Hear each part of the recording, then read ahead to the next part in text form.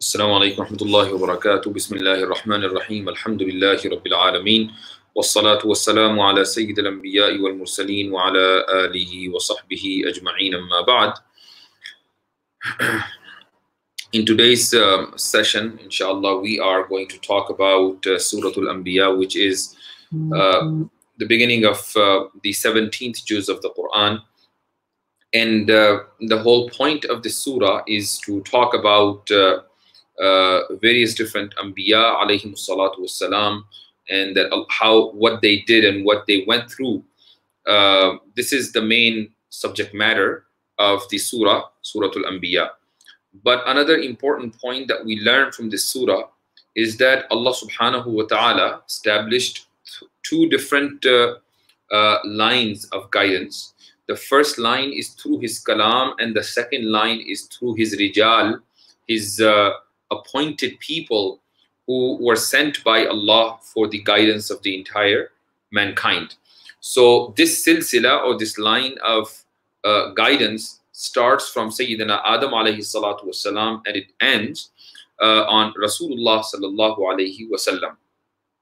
This surah gives us a very important message. And by the way, before I uh, talk about further details, let me just uh, uh, briefly uh, tell you what are the topics that we are covering today. So we are going to learn today if, is, if it is possible for someone to learn and understand the deen on his own.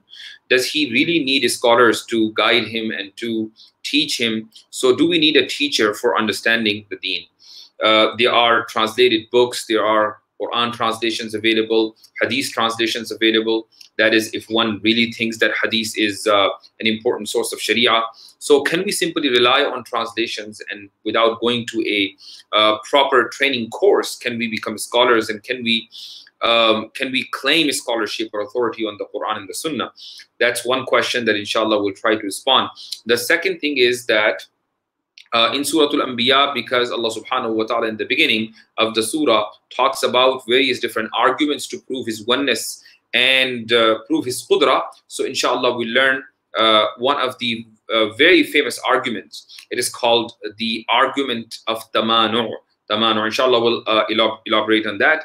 And also uh, there are a few scientific phenomena that's, that are mentioned in the Quran in Surah Al-Anbiya that we will inshallah understand.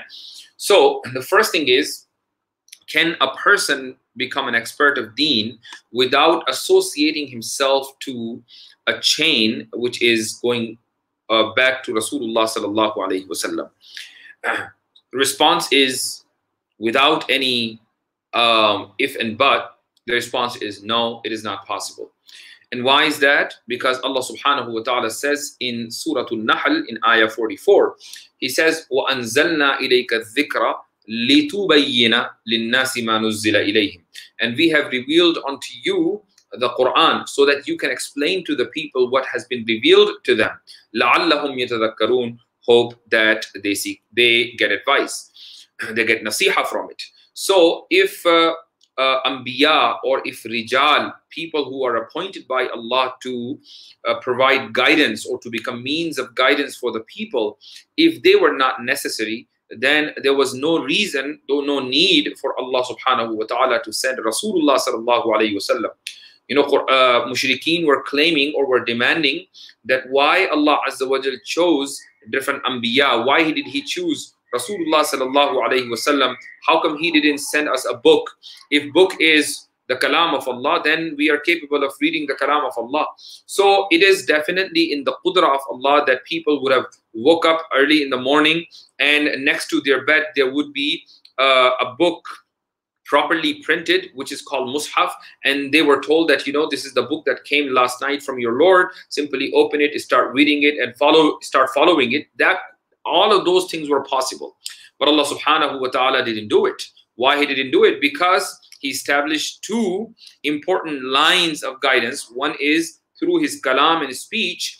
And the first uh, uh, link of that line is those scriptures that were given to Adam alayhi salatu wasalam. And the last and the most important link of that line is the Quran, which is given to Rasulullah sallallahu alayhi wasallam In the Quran, Allah Azza wa Jal says, لقد من الله على المؤمنين إذ بعث فيهم رسولا من أنفسهم يتلو عليهم آياته وَيُزَكِّيهِمْ وَيُعَلِّمُهُمُ الْكِتَابَ وَالْحِكْمَةِ So in the Quran, Allah subhanahu wa ta'ala talks about four different duties of Rasulullah sallallahu alayhi wasallam. He says that Allah azza wa has favor upon, favored upon mu'mineen by sending a messenger uh, who comes from them.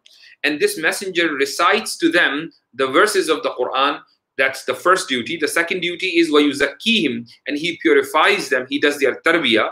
That's the second duty. And the third duty is وَيُعَلِّمُهُمُ الْكِتَابِ Not only reciting, but he also teaches the book to them. hikmah and he teaches the wisdom. So this wisdom is the sunnah of Rasulullah sallallahu alaihi wasallam. Now this ayah debunks and refutes the claim mm-hmm. of those, those people who think that hasbuna kitabullah, that kitabullah is more than sufficient, more than enough for us. And if there is any guidance, then uh, we can definitely seek guidance from kitabullah. If this is what they think, then what about the duties of Rasulullah sallallahu alaihi wasallam?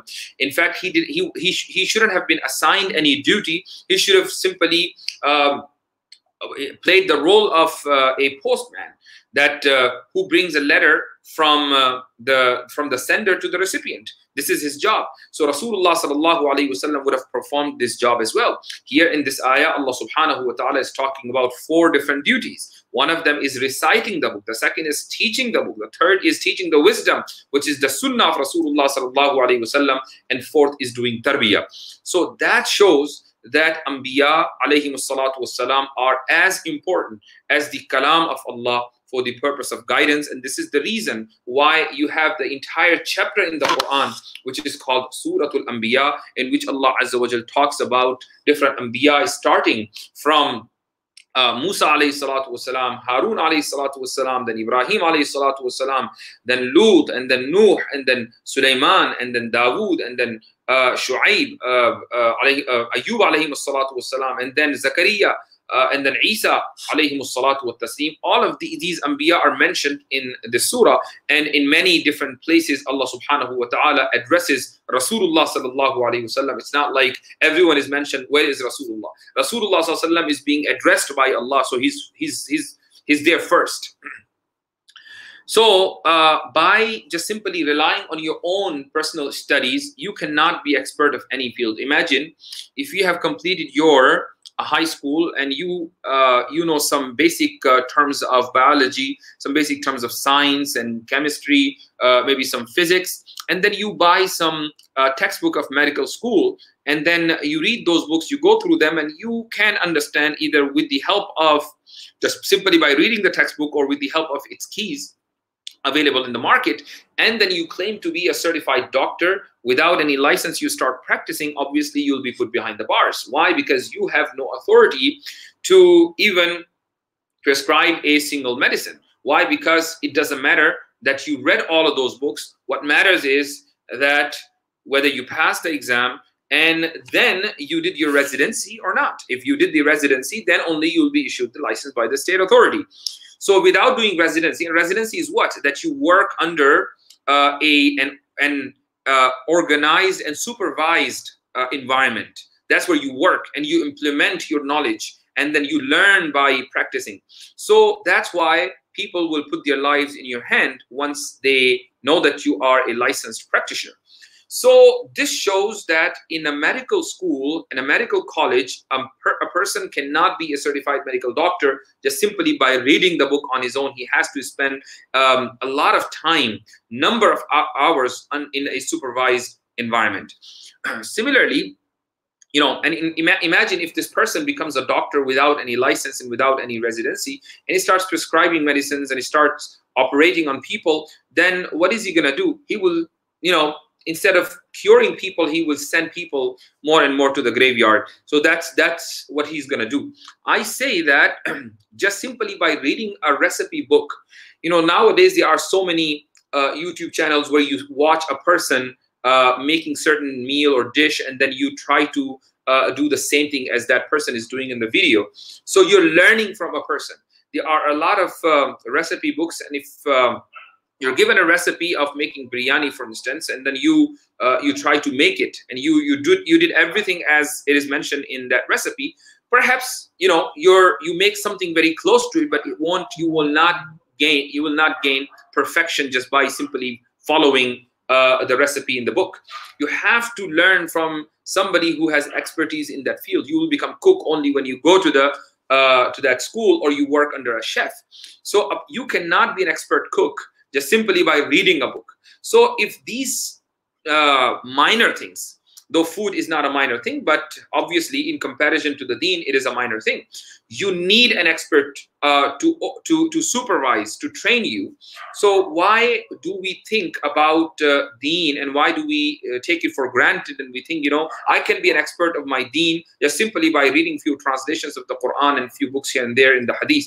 This attitude must change. And this is the uh, gist of Surah Al-Anbiya, that only Kalamullah, no matter how much, uh, how many times you claim that you understood it, but you have not understood it without spending time under the supervision of your teacher, by learning your teacher and by from your teacher and by associating yourself to that sacred link that is that, that could take you to Rasulullah sallallahu alaihi wasallam. So, uh, respected brothers and sisters, um, there is a there is a very negative attitude of uh, certain people. For example, there is a group of people that think that we don't need people at all to train us and to teach us.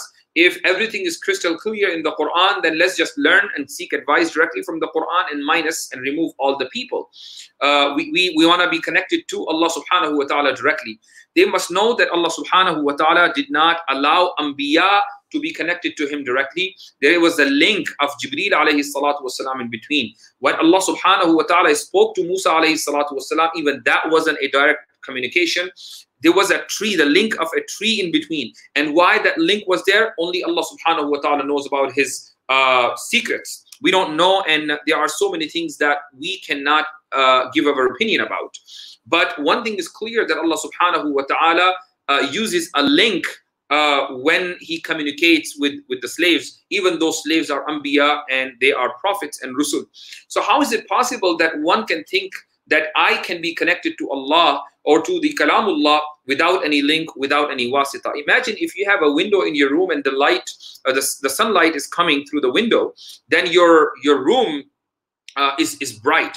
So its brightness is because of the light, but the light is not coming directly, it's coming through the window. If you close the window, the light won't come in and the room, your room will not be bright. Similarly, our heart will become bright only when we open the window. And the window is our teacher. So when the teacher allows that light, that nur, which is in the Quran and the Sunnah to come into our heart, then only we understand the Quran and the Sunnah, but we have to keep that window open. If we close the window, if we close the door, then the light, the nur of the Quran and the Sunnah will never get into our heart. so that's the first group of the people and these type of people who ignore the rijal the people who are appointed by allah and who are their inheritors inheritors who ignore uh, these people they eventually become uh, the rejectors of the sunnah usually they think that oh since quran is the uh, ultimate source of guidance. Well, this uh, narrative and this proposition is right, but the way how this proposition is implemented is not right. So they think that uh, Quran, since it is the ultimate uh, source of guidance, let's not talk about sunnah because in order to understand sunnah if i read to, through the hadith i find a lot of contradiction. And in order to resolve these problems and contradictions then again i have to go to the teacher. And i don't want to go to a teacher. I am an expert by myself. So let's just ignore the hadith so this person ultimately becomes a rejecter of the sunnah. And you don't want to be a rejecter of the sunnah because in most cases these people um, eventually end up losing their iman. In most cases. I'm not saying in all the cases then uh, that's the first group of the people. The second group of the people who just associate themselves to the rijal, to that uh, line of guidance uh, people, and they ignore kalamullah, they end up following, falling in bid'ah. So that's why you will see people that they associate to, the, to the, themselves to different salas, different salasil, different mashayikh, and uh, statements of mashayikh for them is like the statement of Allah or the statement of the Quran or so and so sheikh said that that's it. I am gonna do this uh, particular action because my sheikh told sheikh told me and if even if these people are told no this is against the hadith this is against the ayah of the quran so uh, such people ignore all the hadith and all the ayat of the quran so uh, they think that what my sheikh or what my uh, you know peer or what my uh, so and so a person that I admire, what he told me is his word is final, his word is like wahi. So these people give them a, highest regard that they don't deserve. And that's why the followers end up becoming bidatis. So you don't want to be in one of the, uh, you don't want to you don't want to be uh, in any of these two groups. You want to be in the middle. A moderate muslim is a person who uh, who, who who fulfills the right of both lines of guidance the uh, uh, Rijalullah and the Kalamullah, the people who are appointed by Allah and the Kalam that was sent by Allah subhanahu wa ta'ala. So that's the main uh, point of Surah Al-Anbiya and this is the reason why Allah subhanahu wa ta'ala talked about Anbiya alayhi salatu wasalam and the name of the surah is Anbiya. It's, it's giving us a clear, straightforward message that you cannot understand the Quran on your own. Yes, there is an ayah وَلَقَدْ يَسَّرْنَا الْقُرْآنَ لِلذِّكْرِ فَهَلْ مِن مُدَّكِرٍ that we have made the Quran easier for uh, dhikr. For dhikr means seeking seeking guidance. So imagine if you read the um, read a story or you read the uh, a story of the Quran or you read the translation of the Quran, you can always seek the guidance uh, from the Quran. That's you seeking guidance from the Quran you don't have to have a teacher. But when you say, I'm understanding the Quran without the help of a teacher, without the support of a teacher, that's where you're making mistake. And you will end up not understanding it, and you will end up having lots of doubts in the Quran. And uh, uh, that's the reason why Allah subhanahu wa ta'ala sent Rasulullah sallallahu alaihi wasallam. Otherwise, Arabs, uh, the, the mushrikeen and other Arabs, they were a lot eloquent and they had uh, full command and authority over the Arabic language, even more than the Arabs today in the Arab world. So uh, there was no need for Allah subhanahu wa ta'ala to send Anbiya alayhi salatu because uh, the the addressee of the of the book were native speakers they could have just understood it on their own but allah subhanahu wa ta'ala knew that if they tried to understand the quran on their own perhaps there will be a lot of confusion in their mind and the only way to clear the confusion is when Anbiya alayhi, when Rasulullah sallallahu alayhi wasallam would teach them uh, his uh, Allah subhanahu wa ta'ala's beautiful words. Now, let's get uh, to this ayah, which is uh, in Surah Al-Anbiya and it is ayah number ayah number 22. Allah subhanahu wa ta'ala says, لو كان فيهما آلهة إلا الله لفسدتا فَسُبْحَانَ اللَّهِ رَبِّ الْعَرْشِ عَمَّا يَصِفُونَ Had there been gods beside Allah in the heavens and the earth, both of them would have fallen in disorder. This is an argument from Allah subhanahu wa ta'ala uh, on Tawheed, that why Allah is one and why it is must that He is one, and why we cannot have multiple gods, why we cannot have more than one God.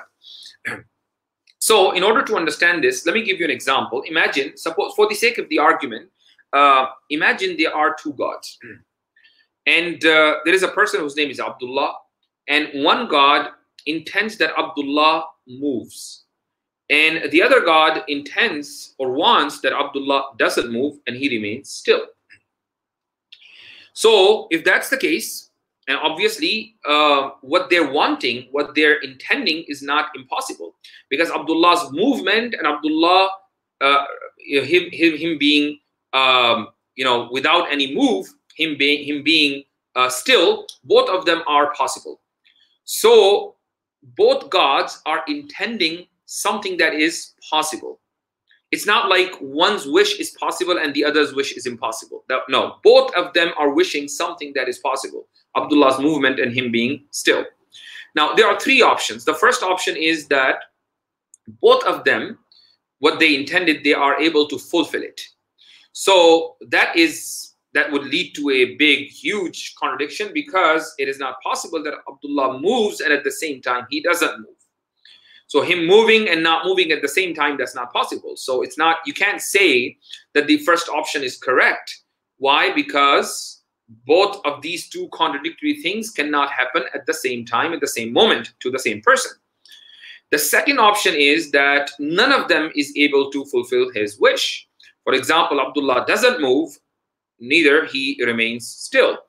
This option is wrong as well because, um, you know, if there is an object the object is has only these two conditions either the object will move or will not move there is no third uh, option there is no it's not possible that the object doesn't move and is not uh, is not still. There is no such possibility. So the second option that none of them is able to fulfill his wish or fulfill his or impose his intention, this option is false and is wrong. The third option is that one of the two gods is able to implement his wish. For example, the one who wanted Abdullah to move, so Abdullah moves. And the other god who wanted Abdullah not to move, he's not able to implement his wish.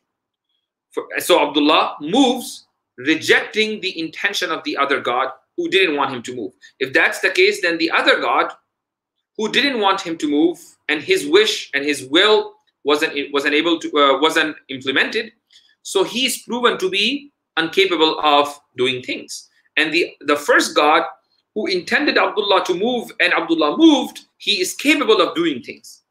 If that's the case, then the other God who's proven to be incapable of doing things, obviously, is disqualified to be God. And the first God who wanted Abdullah to move and he moved, since he is capable of doing things, therefore he is qualified to be a God. That proves that there is only one God and not two.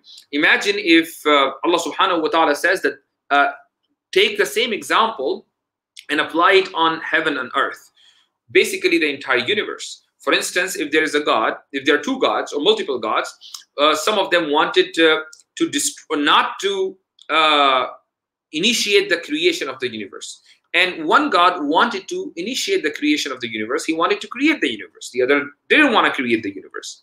So obviously, if that's the case, then we will apply all three options there. The first is wrong, the second is wrong, the third is right, that uh, one's intention is uh, uh, is, is, is fulfilled and the other in, other's intention is not fulfilled. So the God who wanted to create the universe, he created it. And the God who didn't want to create the universe, he failed. So if that's the case, if the second God failed, he's disqualified to be a God. So this is what Allah subhanahu wa ta'ala is saying. لَوْ كَانَ فِيهِمَا آلِهَةٌ إِلَّا اللَّهُ لَفَسَدَتَ So uh, this dalil is very clear, straightforward, and it is something that, you know, even awamun nas, laymen, can understand. So the beginning of Surah Al-Anbiya talks about the evidences and arguments on the oneness of Allah, the wujud, the existence of Allah. For example, in ayah number um, 30, ayah number 30. And what I, why, why I'm uh, mentioning these ayat because keep one thing in mind that Quran is never against these scientific facts what science is discovering and if they are facts mm -hmm. quran has already talked about those facts as for scientific theories uh, they may be they may be against the quran and we don't really care about that because theories are there to change and this is a, this is the problem of many muslims that as soon as they see they think oh, this this uh, scientific theory is becoming very popular and it, it's, it's trending now. So let's see if this theory exists in the Quran and they find one or two verses and they twist it and they just interpret it on their own uh, without any you know source and uh, using this uh, this term called uh, called uh, Quranic hermeneutics and they, they, they, they prove that theory from the Quran, which is totally false. This attitude is not right. Yes, if this is if there is a scientific fact then Quran definitely has talked about those facts way before science is able to discover. So in the in this ayah number 30, Allah subhanahu wa ta'ala he is proving his own existence. He's saying, أَوَلَمْ يَرَ الَّذِينَ كَفَرُوا أَنَّ السَّمَاوَاتِ وَالْأَرْضَ كَانَتَا رَتْقًا فَفَتَقْنَاهُمَا Did the disbelievers not observe that the heavens and the earth were closed, uh, then we open them. So basically, this is what the science, uh, modern science calls uh, now uh, as a Big Bang. But you know, not everybody is aware of the Big Bang theory. Though we call it theory, but it's in, uh, in fact it has become a fact now that this is how the universe started as a result of a huge, massive explosion from this level called singularity.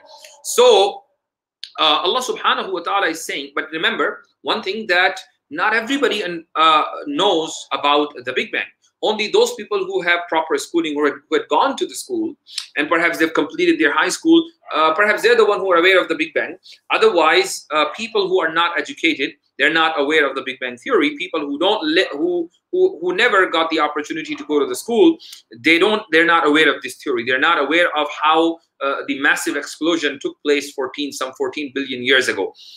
Yes one thing they're aware of they're aware of the earth they're aware of the sky the sky means or the blue thing that they see during the daytime, which is the open space. There, everybody is aware of it. Whether a person who lives in the middle of nowhere and even a nomad, he knows uh, these two things. Similarly, a a, an expert in science, a scientist, a medical doctor, an engineer, an IT professional. All of these people know these two things.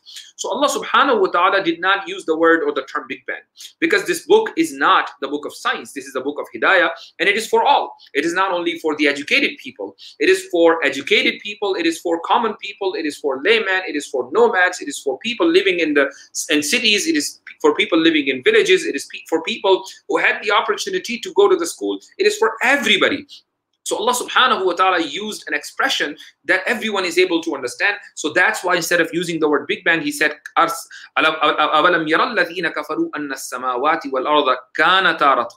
Did the disbelievers not observe that the heavens and the earth, because everybody knows about the heavens and the earth, were closed, meaning they were at the singularity level, and that's when فَفَتَقْنَاهُمَا فَفَتَقْنَاهُمَا and we opened them. So when, imagine if there is a tiny uh, bomb and it explodes. So everything that is closed in, it opens up. And uh, all the particles, you know, they fly around and uh, damaging the property and people. So this is the nature of the explosion. So فَفَتَقْنَاهُمَا Fataqa is uh, to have an explosion. فَفَتَقْنَاهُمَا So we open them. Meaning from the singularity level, we caused this explosion to happen and that's how the universe came into being. وَجَعَلْنَا مِنَ الْمَاءِ كُلَّ شَيْءٍ حَيٍّ And Allah subhanahu wa ta'ala is saying that we have created every living thing from water. Now, uh, imagine 1400 years ago when the Quran was addressing to uh, the people who had no scientific background. They were uh, simple people. Uh, most of them were laymen. Most of them were un uneducated. Allah subhanahu wa ta'ala is talking about this great scientific phenomena.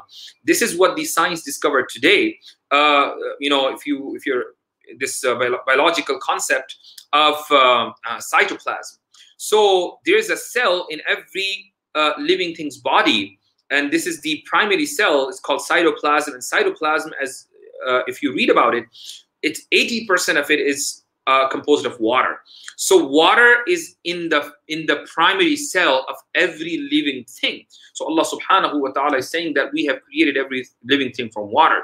So imagine if you take a bug and you smash it, you don't see any water in there. There's no blood there. But even it has that cell which is composed of 80% water. So وَجَعَلْنَا مِنَ الْمَاءِ كُلَّ شَيْءٍ حَيٍّ أَفَلَا يُؤْمِنُونَ if that's the case, did they not observe this? If they have observed this, then how come they don't believe? Still, you don't believe in, in the existence of Allah. So Allah subhanahu wa ta'ala is talking about those uh, facts that the science is now discovering 1400 years ago to people who had no scientific background in a language that's very, very clear, straightforward. It has no ambiguity in it and it is quite simple. It is not a scientific language that in order to understand that you have to have some uh, school mm-hmm. background. Uh, non, uh, you, know, you know, common people won't be able to understand or get those terms. Then Allah subhanahu wa ta'ala, I'm reading ayah number 30, uh, 32. وَجَعَلْنَا السَّمَاءَ سَقْفًا مَحْفُوظًا We made the sky a protected roof.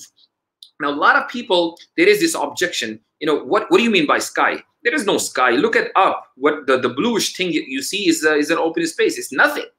Okay, this is, it turns dark when the sun uh, sets. So when the sun rises, it becomes blue. So that's that's not solid thing. Why did Allah subhanahu wa ta'ala call it a roof? And not only a roof, he called it a protected roof. So where is that roof? now, uh, remember that the word uh, as-sama is used in the Quran for various different uh, meanings. In fact, in Arabic language, in the classical language, the word as-sama is used for anything that is high and above. In the Quran itself, Allah subhanahu wa ta'ala used in one of the ayat this word for clouds. Sama is used for clouds. So anything that is high and above, the word as-sama is used for that. Now, what is that thing which is protecting us and it is up? It is protecting us from being destroyed. So if you um, if you if you are interested in uh, in science, perhaps uh, you're aware of this that there are seven different layers of the atmosphere, and those seven layers, ozone is one of them, and those layers are protecting us against uh, ultraviolet rays, against uh, X-rays, and uh, the, the, the, rays that are emitted from the sun. That if those uh, uh, you know layers are not there, those seven layers are not there, these rays would have killed us all by now. In fact, no living thing can survive. Uh, that's how dangerous those rays are. So Allah subhanahu wa ta'ala put these uh, layers that we may not be able to see with naked eyes, but these layers are definitely acting as a uh, as a roof, which is per, which is uh, this roof is protecting us and protecting every single uh, living thing. And that's why if when you cross this, um, you know, you go to the outer space and you are outside of these seven uh, rays. Now you don't you need the space suit, the astronaut suit, in order to survive. Otherwise, you'll be burned right there. You'll be killed uh, right away. So Allah subhanahu wa ta'ala, it is possible that the word as-sama, I'm not saying this is the only interpretation, but it definitely, uh, you know, he's talking about a clear, uh, a protected roof or a roof that protects people. Um, so that description matches with the seven layers of the of our atmosphere. So it is possible that it is talking about those seven layers of the atmosphere. But definitely, this objection against the Quran doesn't stand valid. That uh, which roof is uh, are you talking about? Which roof is Allah talking about? There's no such roof up, uh, you know, in the space. So Allah Subhanahu wa Taala is saying that after witnessing and observing all of these signs, وَهُمْ عَنْ آيَاتِهَا مُعْرِضُونَ they are still averse to his signs. You know, after uh, reading the Quran and after having understood and after simply reading the translation of the Quran that Allah Azza wa Jal 1400 years ago in his kalam addressing to common people who did not have any scientific background were talking about the scientific phenomena that now the modern science discovered and now people started learning slowly uh, in their schools and colleges Allah subhanahu wa ta'ala has talked about these things uh, uh way long ago so this is a clear sign that this kalam cannot be from a human being. Uh, this kalam definitely is from the creator. This kalam is definitely from our master and our Lord. And this is what Allah subhanahu wa ta'ala is inviting us, the entire human being, the entire mankind too, that we uh, believe in Allah, we believe in His authority, we believe in the fact that He is the creator. So um, today's khulasa and the, the, the conclusion is that if one claims or wishes to learn the deen without the supervision of his teacher, he can never do that. And therefore, my advice to you all that if you are definitely, we are all hungry for knowledge, we're thirsty for knowledge. So we need knowledge. And if that's the case, and of course, if it is about our deen, we, we definitely we want to have proper knowledge. And nowadays, on, with the help of social media, you see a lot of scholars, you see a lot of people, uh, you know, sharing their knowledge uh, with you. In fact, right now you're watching me, and uh, you know, I'm also sharing uh, a bit of knowledge that I have, uh, which is not actually my own knowledge. I also learn from my teachers. So it's their knowledge, and they learn from their teacher. So the, the the main criteria that you have to look for in that person is that what is his sanad what is his chain? And uh, sanad is not required only in hadith sanad is required basically in the entire field uh, of uh, dini expertise. So if this scholar or this person who is on the on your screen whom you watch you're you're a big fan of that person you follow that person for his knowledge or because he's a very good speaker because he's very famous uh, you know his speeches are uh, heard everywhere he's invited by you know, uh, in, in big events. That's why you follow him. It's absolutely fine. No problem as long as this person has a proper background background in a sense that he is linked to his teachers and his teachers are linked to their teachers and their teacher had connection to their teachers and that's how the silsila goes back all the way to rasulullah sallallahu wasallam but if you see somebody that a person became scholar just out of nowhere he you know he just popped up as a scholar and uh, suddenly he started giving his speeches and uh, you know his videos are now uh, trending because you know he's he's becoming famous. Now the question is that why is he becoming famous you know the problem is that only those scholars so-called scholars become famous who tell you that everything is halal the moment, the moment a person says no this is haram people go away from him because you know that's not my kind of scholar my kind of scholar my kind of scholar is that who tells me everything is halal so if you find somebody who, who tells you that everything is halal and who tells you that all what you have been doing so far is totally incorrect. And let me tell you uh, what I got, let me tell you what I have, and let me tell you my understanding, then watch out and stay away from such a person because his example is like an uncertified doctor. Imagine if you have a flu, if you have a minor fever, you have a cold or cough, and you go to this doctor and he prescribes some medications for you those medications might work. But if imagine this person uh, continues going to visiting this uncertified doctor, unlicensed doctor for uh, a constant fever, and every time this person visits the, the, doctor, the doctor gives him the same medication. And after some time, when he went to the hospital and uh, the proper testing was done, he discovered that, oh, he has a cancer and the cancer in its last stage. And then who would he curse now? He would have he should have cursed himself. Why were you visiting all his this time uh, to a, an uncertified and unlicensed doctor. So yes, his medica medic prescribed medications were working to some for minor issues. But when this minor, these minor issues become major, now what's going to happen?